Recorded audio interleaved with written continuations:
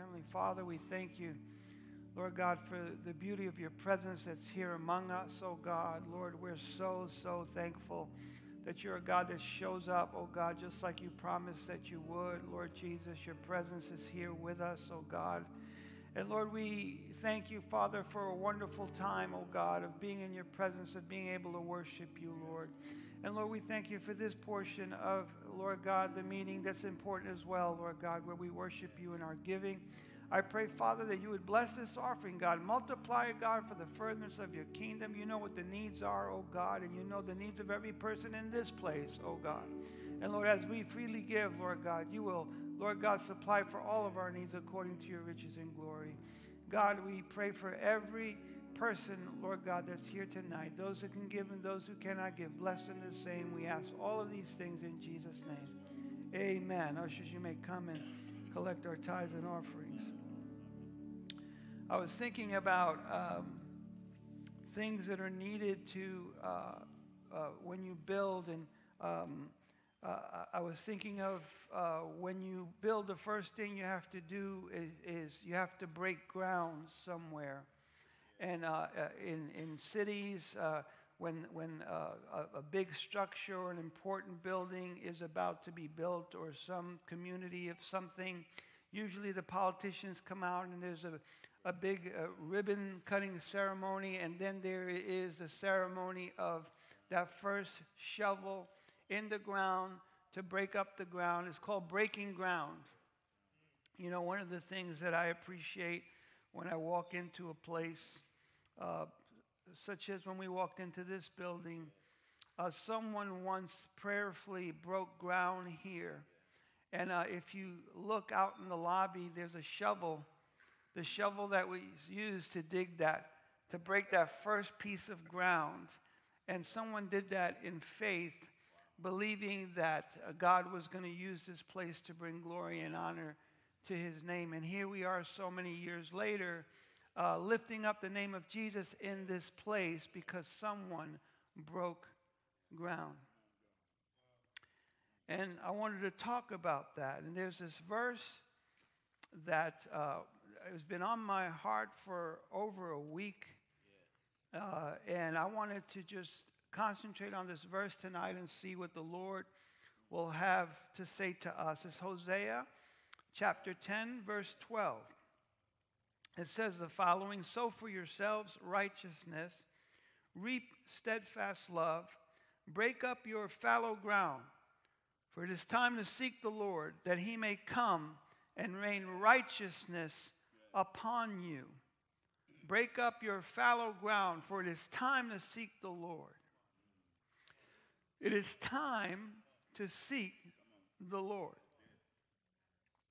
But I wanted to break this down little by little because there's so much that this verse says. First of all, it says, sow for yourselves.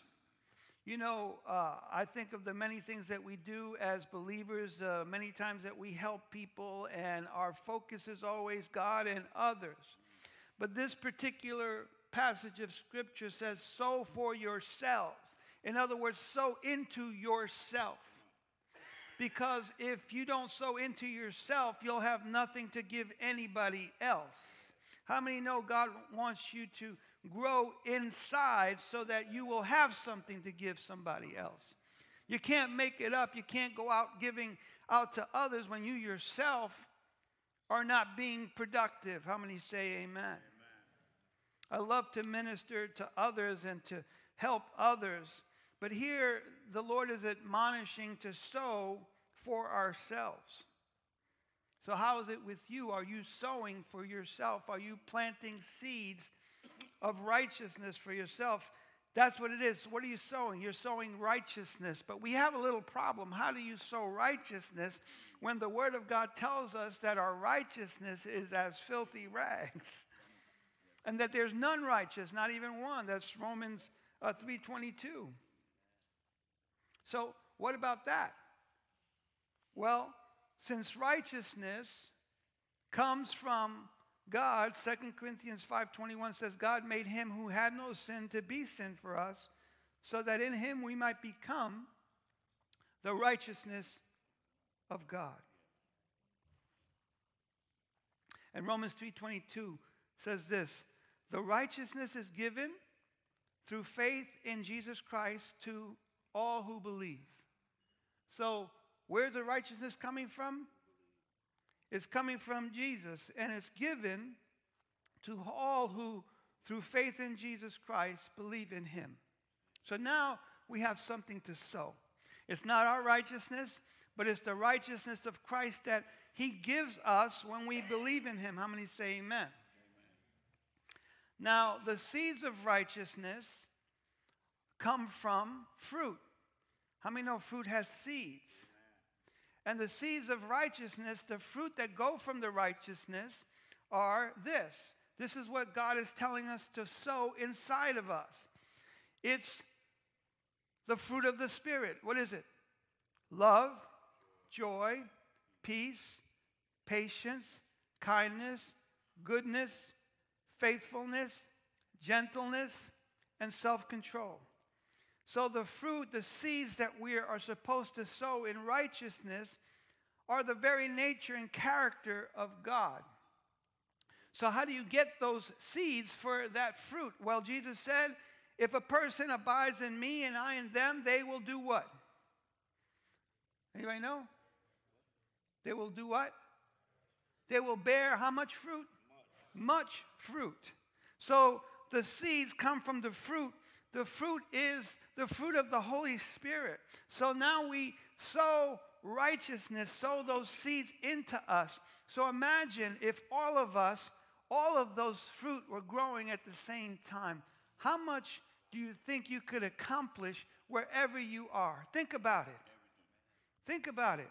If in you were growing the seeds and the fruit of love, of joy, of peace, of patience, of kindness, of faithfulness, gentleness, and self control. How much could we accomplish? You think maybe like the disciples, they turned the world upside down. How did so few people change the whole world that here, 2,000, over 2,000 years later, we're sitting in a building because they turned the world upside down because they had the fruit, they sowed the fruit of righteousness, and the world didn't know what to do about it. And you know what? It's not time to sit back because of all the work that they did. We have to keep moving forward. There's more ground to conquer. How many say amen? amen? So we sow for ourselves righteousness, and then we reap something. We reap steadfast love according to this verse. Sow for yourselves righteousness, reap steadfast love. Another version says, we reap mercy. Because this love what that is, is that the fruit is multiplied in you by his love. The seed that's sown, if the ground is right, always yields a lot more than what you planted. I was just checking out for curiosity's sake, because around here they grow a lot of corn. There's corn everywhere. And I was saying, okay, so you plant one kernel of corn, what does that yield? that yield uh, a plant, and it usually the average is two to three ears of corn. Each ear of corn has about an average of 700 kernels. So one kernel produces 2,100 kernels. Talk about 30, 60, and 100 fold. How about 2,700 fold? One little kernel of uh, seed produces, and, and, imagine if you sow uh, uh, uh, uh just a whole, heart, a whole field full of kernels, all of the, the, the, the, the produce that comes out from that. And God is, wants us to be that fruitful. In other words, He's that awesome. It's not supposed to be a trickle or, or you know, just, uh, uh, you ever see a, a, a, fruit tree that's not doing so hot? I have a pear tree that's not so hot. I inherited a pear tree, and it's ugly. It's ugly. It's in the front of the house. And pears do grow, but they're ugly pears. I tasted one once. And it wasn't that bad, but it's ugly. You got to get through the ugly part to eat it. But it, it, obviously, the tree's not well. Uh, I don't know what to do about it except pray. I, I, I'm not, I don't have a green thumb. I don't know what to do with trees that, are, that need help. But uh, you know what? God wants us to be not only a full, healthy tree, but that we will have full, healthy fruit. Amen? Amen. Multiplied over and over. But before you can sow, you have to break up the fallow ground. Before anything happens, the ground has to be broken. Let me tell you what fallow ground is. Fallow ground is unplowed ground.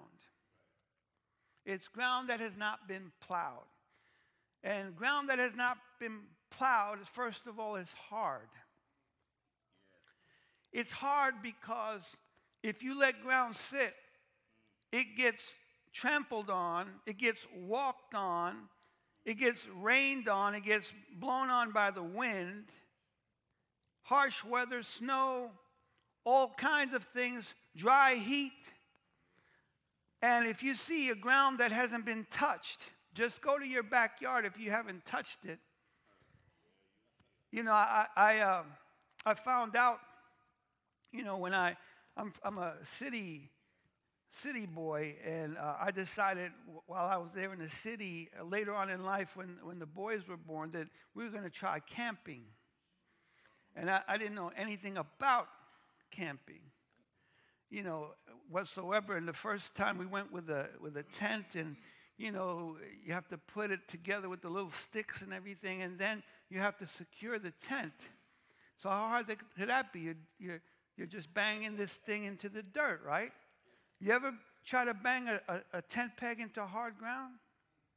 And then the first ones that I bought, it, had, it were plastic tent pegs.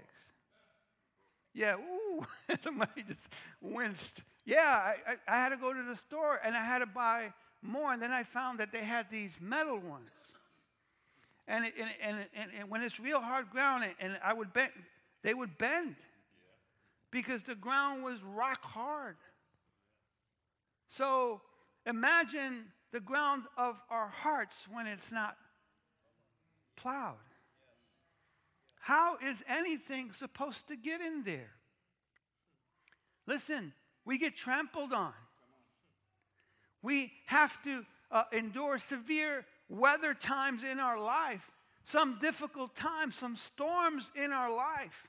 And before you know it, if your heart is not plowed, if the ground of your heart is not plowed, it gets hard.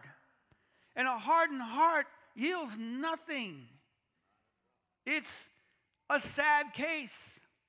So God is telling us tonight to sow, yes, sow in righteousness, yes, and you'll reap, yes, but you have to break up that fallow ground. Unplowed ground is also ground that has weeds and thorns. Weeds and thorns don't bode well, and it has rocks too. So when you break up that ground, you bring up those rocks that get in the way of the roots, and you uproot weeds and thorns. Now, according to the Word of God, when in, in the book of Matthew, Mark, and Luke, the uh, parable of the, the, the, good soil, the bad soil. Here's what the weed and, and the, uh, the thorns represent the worries and cares of life. That'll mess up any seed growing in your life. The deceitfulness of wealth. If you get caught up with your career, with making, uh, you know, a mint or, you know, just accumulating things, that also is a weed or a thorn for your ground. The desire for other things, that's in Mark chapter 4, verse 19. What does that mean? The desire for other things. In other words, what the Word of God is saying there, your de- desire for other things more than your desire for God. It'll pull you away from the very life that God wants to give you. Let me tell you, as you go further and further away from God, you are actually moving further and further away from life because God is life. He sustains all life and He holds all life together. And your desire for other things will draw you away from the very life that God wants you to have. Also, riches and pleasures if you're living life for pleasures, also that's a weed or a thorn that will mess up the ground. And it needs to be plowed and uprooted. How many say amen? amen? So, unplowed ground is hard. Unplowed ground has uh, weeds and thorns that need to come up. But here's another thing that fallow ground is. You know what fallow ground is? It's unused ground. Fallow ground is ground that's not being used. And here's the thing that the Lord was speaking to my heart today. You may have many aspects of your life. We're very complicated human beings. And you may have very uh, a lot of areas in your life that you've given over to God and you've surrendered. But when we surrender, we don't do it in one fell swoop. We should but we do it in pieces. And even if you've surrendered a lot, there may be some ground that's not being used. And ground that's not being used becomes hard. And weeds and thistles and thorns begin to grow. And it's practically useless. So the question for us tonight is Is there ground in your heart, in your life, that you've never given over to be plowed and cultivated, planted, and harvested?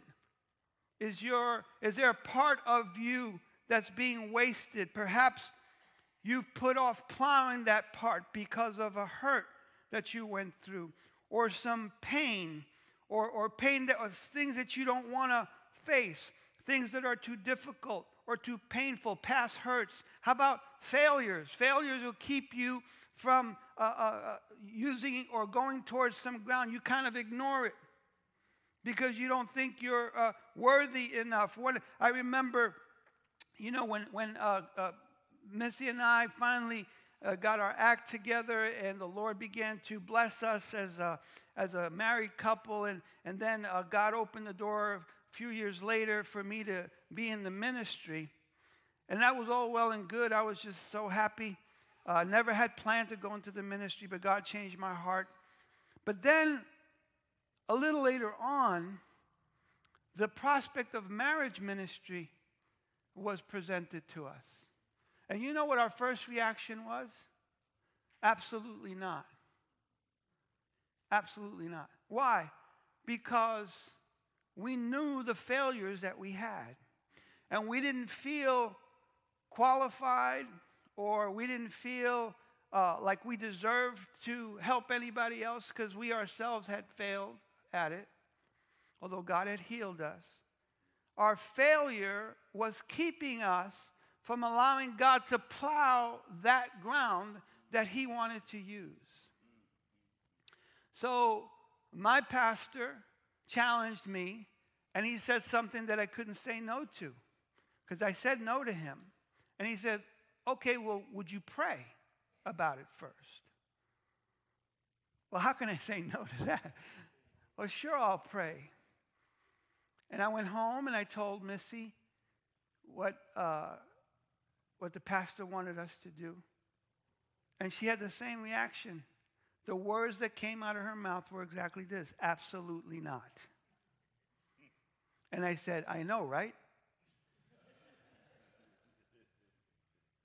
And I said, but the pastor asked us to pray. She said, okay, uh, how can you say no to that? So we began to pray. And as we began to pray, I don't know what was happening with her. Well, I do. But I know what was happening to me. That first week, my ground started to be plowed. I couldn't believe it. You know, I was speaking to somebody a couple of weeks ago about how ministry happens in your heart or how you're birthed into ministry. You know, a lot of people think is that you have a passion for something and then God opens the door and you could take your passion into it. It happens that way. But you know what? I didn't have a particular passion for a marriage ministry. I was very grateful for what God had done in us. And I could tell you a thing or two about the mistakes that we made and, and why we got to the place that we got. But I didn't have this over, you know, thing of, oh, marriage, oh, yeah. Oh. But God started to plow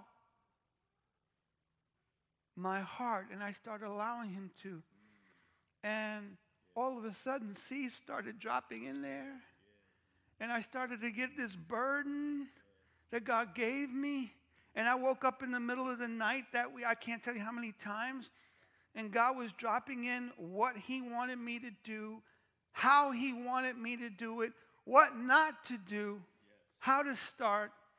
But I had one problem Missy. I, I got it, but I didn't know what was going on with her. So I prayed, Lord, of all things, this is marriage ministry. If you're speaking to my heart, you're going to have to speak to her heart. So we prayed for a month, actually. And I knew after the first week, I don't know how long it took for her, but after a month, uh, the pastor asked me, Okay, uh, it's been a month, you know, have you heard anything? I said, Well, I said, Tell you what, I'll tell you tomorrow. Let me, let me go home and speak to my wife about it. And when I got home, I asked her, I said, Babe, I, I, have a sense of what God is saying, but I, I want to hear from your heart first. And just she looked at me, and immediately I know, I knew that her ground had been plowed. Because she just looked at me and she goes, He wants us to do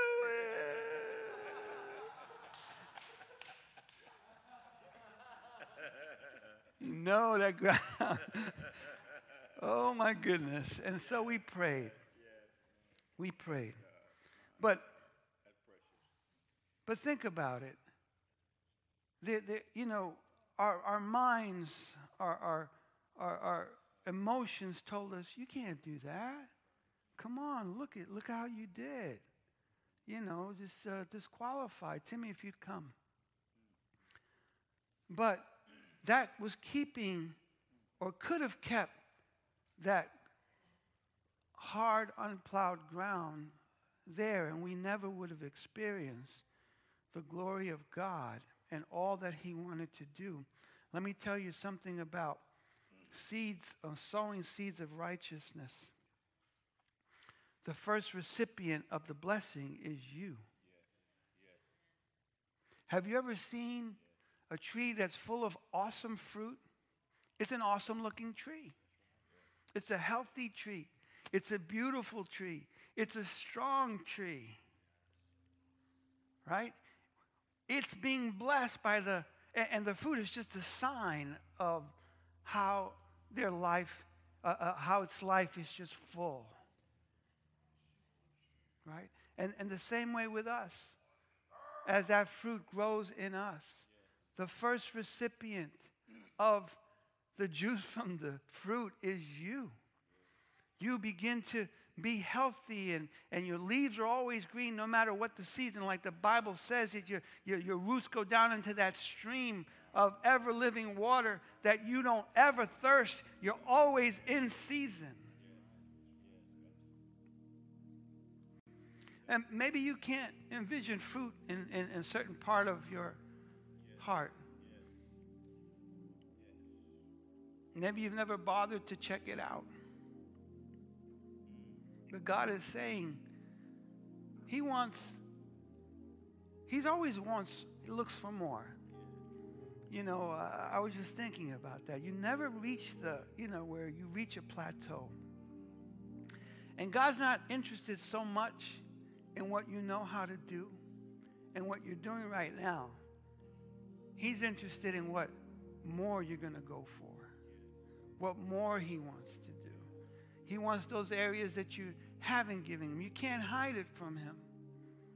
You know, we're like bad magicians. You ever seen a bad magician trying to do a trick? Right? They, they, they're going to take a coin out of the air, but you see the coin in their hand. That's how it is with God. We try to hide our stuff, but He sees right through it. I see it, it's right there. Come on, let me have it. How many of you here, God wants to do something in your life? A new thing. He's always doing a new thing. Listen, if you are getting old and wasted away in your soul, it's, there's something gonna miss. Because God does new things. His mercies are new every morning. He gives you a new song. And those new songs come from that ground being plowed up and producing new fruit in areas that you never even imagined. I'm telling you from my own life fruit that you never even imagined, places that you never even imagined that you go to in, in, in life. God is just amazing. It's an amazing adventure.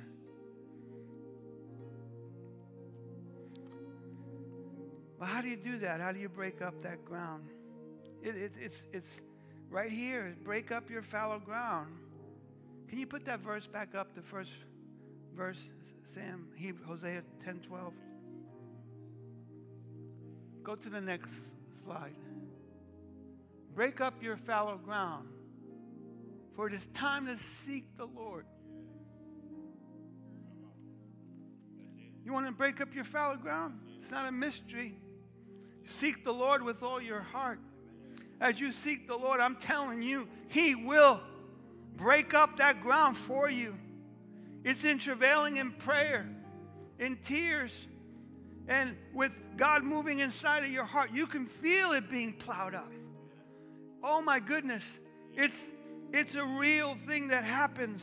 And then then the word of God says as you break up that fallow ground by seeking the Lord, it says the Lord will rain down righteousness on you. You know what that, you know what that means? It's it's like the God of more than enough. In other words, the Lord, as you break up that fallow ground and you allow Him to, you know, and you're sowing fruits of righteousness, listen, He rains down even more. He'll come into your life like He's never come before. If you think you know the Lord now, hang on to your hat if you have one. If you think you are close to God, hang on because there's so much more. And as you go for it, as you allow that ground to be broken up, He will rain down God is into outpouring, not trickles. He's not a trickle down God, He's an outpouring God. He's a God that rains down a deluge of righteousness upon you. Hallelujah. And He will make you more fruitful than ever before, than ever before. And you will know that you know that you know that it's not you, that it is God. We studied a verse a few weeks ago, 2 Corinthians 3:18, where it says that you go from glory to ever increasing glory. That's what raining down his righteousness on you. You go from glory, listen to the next step. It's not just glory to glory, it's glory to ever increasing glory. That means God has more and more and more. And when you think you've got it, He has more and more and more. And when you think you've reached the end, you find out you're not even scratching the surface yet. Because this God that we serve is so deep. His love is so deep we can't even understand it unless God touches us and we get a little inkling, like looking through a dark glass, to understand a little bit, and that blows you away. We serve an awesome God. But the message tonight break up that fallow ground, break it up. Sow in righteousness. Let God move on your heart. And those of you that God is using, listen, what area of your life is He after? What area of your heart is still unsurrendered? He wants that too. Listen, everything that He touches, it multiplies. Everything that He touches comes to life. I was reading today the story of the procession, a funeral procession was coming, and, and, and Jesus was coming into the town. And the woman had lost her son, and it was her only son, and she was a widow. And he had compassion. And no one asked him to do it, but he went up to the casket, the coffin, as they were carrying it, and he touched it, and he spoke to the boy inside, and he says, Come on up out of there. And the boy came up. I can imagine the pallbearers. You know, what do you do then? I can imagine that commotion. Everything that Jesus touches comes to life. What needs to be plowed in your life? What needs to be brought to life in your, in your life? What has died or perhaps never lived yet? Let's bow our heads.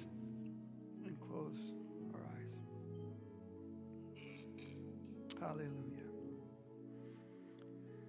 Hallelujah. Hallelujah. Hallelujah. Lord Jesus, here we are, Father. Here we are, Lord God, in your presence, Lord God. You're speaking to us tonight, oh God. Lord, there are so many, uh, Lord, different situations and hearts represented here this evening, oh God. But Lord, you know you knew exactly who was going to be here, Father. You laid this heavy on my heart. I know, God, you want to do a work in all of us, oh God. It's not for one of us, Lord God, it's for all of us. There's not one of us that can say, oh God, that our hearts are completely tilled and, and perfect before you, God. Lord, there is still work that you're doing in each one of us, oh God. And Lord, each work that you do frees us more and more, oh Lord God. Help us, Lord God. Lord, show us those areas. Point them out to us. Sometimes we are not honest with ourselves, oh God. Sometimes you have to show us, oh God. And Lord, some of us know. Some of us know what we're running away from, oh God. What we feel, Lord God, that we don't want to revisit because of a past hurt oh God, we're past failure, Lord Jesus. But you're calling us, oh God. It is time to break up that fallow ground. It is time to seek the Lord so that it can be broken up, Lord Jesus. Help us tonight, Lord God, I pray. In Jesus'.